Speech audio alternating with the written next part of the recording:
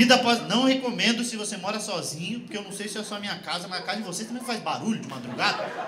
A casa fica revoltada. É o Toy Story da casa. Que ela.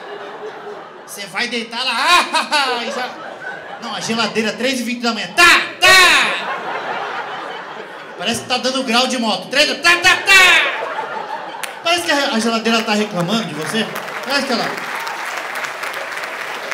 Que raiva, mano. Dá a impressão que a geladeira tá reclamando. Só eu que faço gelo nessa casa, né? Enquanto a puta tá dormindo. A dondoquinha fica dormindo a noite inteira e a vagabunda tem que ficar aqui. Congelando feijão em pote de sorvete. Olha pra minha cara.